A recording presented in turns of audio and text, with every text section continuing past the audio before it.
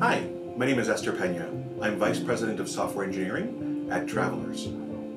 Today I spoke to the students about tech leadership for humans. These students are coming in with experiences myriad and diverse outside of computing that will really inform their careers within computing. And I want them to understand that that experience is valuable and meaningful. So I talked to them about how tech leadership is really about understanding how to create value for human beings, not just about how to create technology.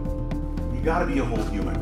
And that means help others be the creative, intersectional, empowered, inspired, innovative, social, challenging, engaged humans that they want to be. My biggest advice for someone going into computer science, into programming, is to just code. Code as much as you can and learn as much as you can. Um, I told them that whatever it is that they are using as a technology today is very likely going to be obsolete in three years. So don't worry too, too much about the language or the framework that you're working in, but learn a lot about the craft and the process. There is this adage about putting 10,000 hours in to achieve mastery at some skill, and that's really what they have to do.